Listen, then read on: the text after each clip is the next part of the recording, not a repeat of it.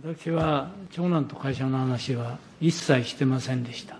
報告も受けておりませんでした。まず私は結果が出てから私に報告があったということです。大臣というのは大体今まで1年で変わってました。ですからそれで、また私はあの長男を1年未満で途中で帰ってます。それはあの地元の人の体制ができたんで帰ったわけでありますけども、それがどうして天下りにつながるんでしょう。それは本人にそれぞれの意思というのはあるんじゃないでしょうか。男の子3人おりまして、3人の就職については、皆それぞれ、えー、が探してきてます。で長男もそういう中で、えー、私が知らないところで、その、会って決めたということで、事後に報告を受けました。私はそこで止めるべきではないと思いますね。もう私任せていましたから。別人格ということをこの間おっしゃいました。今日も、まあ、一切仕事の話はしていませんということで説明をされようとされています。しかしそれで国民の疑念が晴れるわけではないし、むしろ言い訳をされているような気がします。その疑念を排していくためにも菅総理にはきちんと答えていただきたい。何せ、先週金曜日から私きちんと紙で先ほど申し上げた確認事項は菅総理にもお届けしてた。ご存知ですよね、菅総理ね。紙で言ってるのはね。菅清郷氏にこれを聞いたような内容、尋ねていただいたんですか？それだけでもお答えください。事実関係を明らかにするために今、徹底して調査を行っているときに、私が長男に対して聞き取りを行い、ここでその内容を答弁することは行政部の長としては、ここは絶対に避けるべきだと思いますよ。金曜日にね、菅総理におかれては、菅清郷氏に以下のことを確認いただき、その結果を2月22日の衆議院予算委員会において答弁いただきたいということをきちんとお願いしてるんです。それはなぜかというと、総務省の答弁からも分かるように、菅清郷氏の先週までの総務省への報告が事実と違っていることが明らかになったから、なんでそんなことが起こってるんですかということを答えていただくとすると、菅清郷氏にこの場に来ていただくか、あるいは総理が直接聞き取っていただくか、その2つしかないじゃないですか。えご指摘の通り、当初、私ども倫理規定違反の調査で、え具体的にどんな話がありましたか、それから個別の利害の話がありましたかとお尋ねしたところ、菅清郷氏から、通常の意見交換だという答えがありました。また、個別の利害に関する話題はなかったというふうに報告を受けました。それで、えー文春の報道を受けまして、またこの土日、私ども弁護士、それから向こうも弁護士立ち会いで、えーまたヒアリングを行いました。この点についても、どうしてえー最初は、こういう話があったのを報告してくれなかったんですかというふうにお尋ねをいたしました。そうしましたら、菅清郷氏からは、今回の週刊誌報道等を受け、改めてよく当時の記憶を思い返したところ、BS、CS など、放送業界全体の実情に関する話はあったのだと思う。また、業界全体の実情を話す中で、グループ会社の話題が出たのだと思う。しかし、不適切な働きかけや行政を歪める行為は行っていないとの報告を受けております。このような話を菅清郷氏から菅総理もお聞きになっていらっしゃいますか？先ほど申し上げている通りです。なぜこの点をお聞かせお聞きしているかというと、今回の調査、私非常に心配しているのが、本当にあさって出てきたときに、あ、これならそういうことだったのかと、国民みんなが納得するような調査になっているかというのは非常に疑問だからなんです。どうも先ほどからの谷脇審議官や吉田総務審議官、あるいは先ほど出た資料の中で、内閣広報官総理、総理のお膝元にいらっしゃる内閣広報官の山田内閣広報官も、えー総務省総務審議官時代に、えーこの、えー東北新社関係者から接待を受けてらっしゃいますね。なんと飲食単価7万4203円。1回の食事でこの金額です。まあ、このような非常なる接待を行われていらっしゃる中で、山田広報官からのですね、会食時の会話という報告が、業界、放送業界全体の実情に関する話はあったかもしれない。また、業界全体の実情を話す中で、グループ会社の話題が出たかもしれない。しかし、行政を歪めるような不適切な働きかけはなかった。こういう紙が出てきてるんですね。武田大臣が答弁として読まれたものと全く同じですね。あるいは谷脇さん、吉田さんが先ほど答弁でおっしゃったことと全く同じですね。関係者がハンデをしたように、同じ答弁、すなわち、放送業界全体の実情に関する話はあった。業界全体の実情を話す中でグループ会社の話題は出たかもしれない。しかし、行政を歪めるような適切な話し方はなかった。こういう言葉尻を全員合わせて、なんとかギリギリ何人かを処分するだけで乗り越えていこうという姿がありありと見えるもんですから非常に私は心配してるんです。だから本当に内実がどうかということを私は調べたくて、知りたくて、菅総理に聞いてる、聞いてきたというのが私の実情なんです。先ほど菅総理話ありましたけども、今回菅総理は息子さんと仕事の話は一切してなかったというふうに言われますけれども、何がしかのメッセージを国会国民の皆さんに発していこうということは考えていらっしゃいますか？私自身がそうした全体の中でメッセージを出すということは控えたいというふうに思います。ただ、そういう中で報告書、まあ、具体的に事実関係がどうかということを明らかになった上でなければ、今この場で申し上げることは控えるべきだ関係者から話を聞く以外に、行政が歪められてたかどうか、どうやって判断を、調査をするんですか、お答えください。双方の当事者すべてに、ヒアリングを行いました。行政を歪めるようなことが、事実があったのかどうかということを問いました。すべての方々がそうしたことは一切なかったと、まあ、こういうふうに記憶しているということは報告に上がりました。方に聞いたら双方同じこと答えるに決まってるじゃないですか。両方とも行政を歪めるなんてありませんというに決まってるじゃないですか。それが証拠に先週、双方とも放送業界に関する話は出したことはありませんと、虚偽の説明をしてたじゃないですか。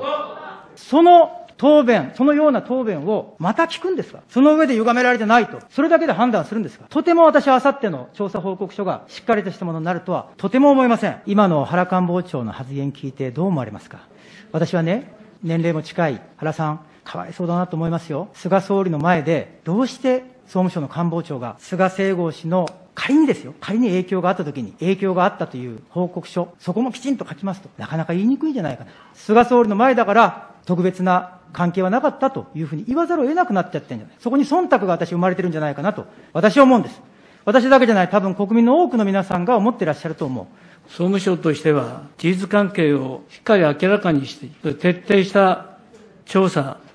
を行ってほしい。これ私の思いであります。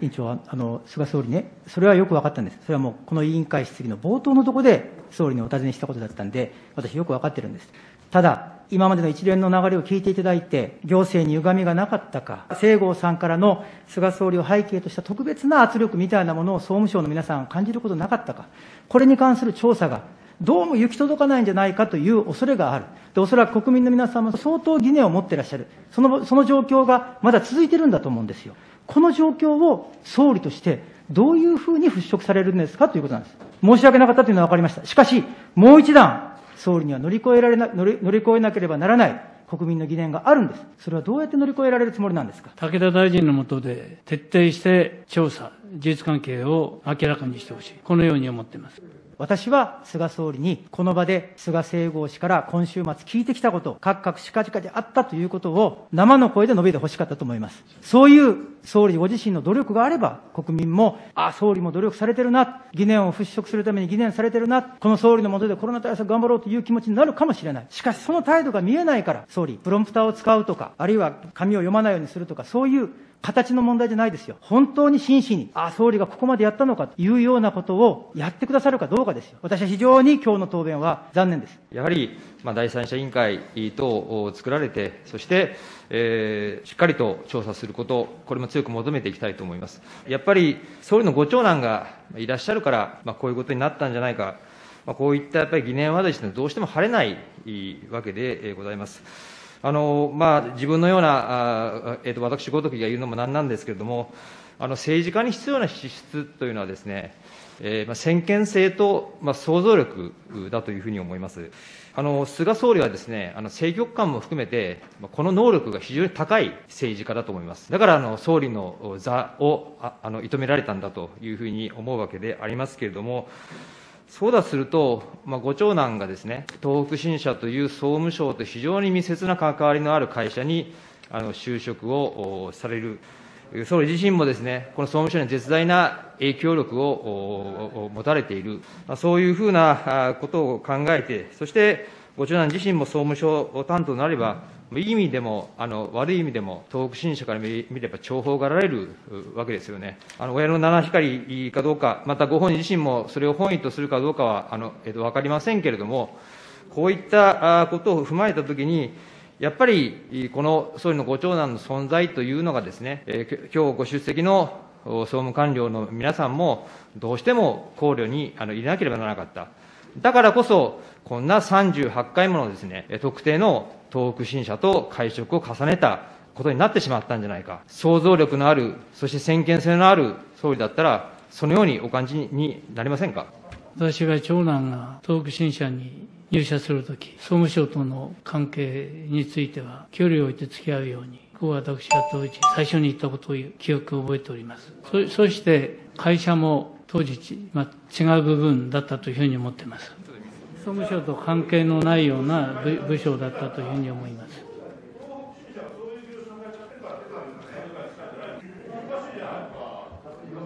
総理、あの、ご長男にあえて釘を刺したということはですね、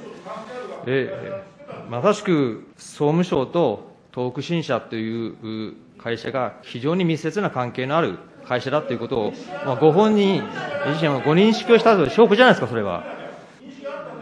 そういう認識を総理自身があのあの持たれていたんじゃないですか。当時から私言ってます。あの、まあ、何回か申し上げてます。映像とかコマーシャルだとか、えーそういう方向とか、いいろんな業界、あの、あ事業を展開しているところであって、で、本人は総務大臣のお政務秘書官を務めましたんで、まあ、そうしたことは気をつけるようにという話は長男にはしておきました。どうして気をつけろというふうにご長男におっしゃったんですか？あの利害関係があるというふうなご認識を当時から持っていらっしゃったんですか？総務省のお秘書官やってますから、総務省関係については、やはり気をつけてほしいというのは、これある意味で当然のことを私申し上げたんじゃないでしょうか。まあ、総理、あのご長男とはですね、まあ、仕事の話は一切されてないということなんですが、まあ、就職をされるときには、そういった釘を刺されたということであります。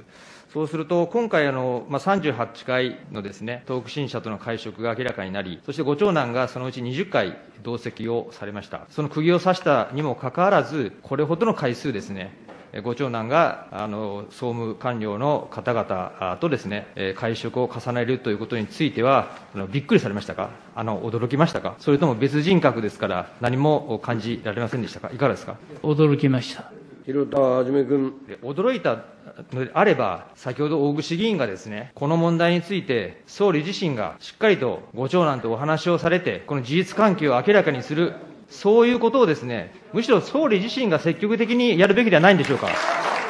なぜそれをしなかったんですか？でもこれについては、総務省でしっかり調査をしていることじゃないでしょうか。私が同じ行政の長として、個人的に話を聞いて、そこに、えー報告するというのは、ここは逆にいろんな問題が生じてくるんじゃないでしょうか。いや、いや、どんな問題が生じるんですか？行政の長だからこそですね、ご長男が関わって、ご本人もですね、心配した通りになってしまったわけじゃないですか。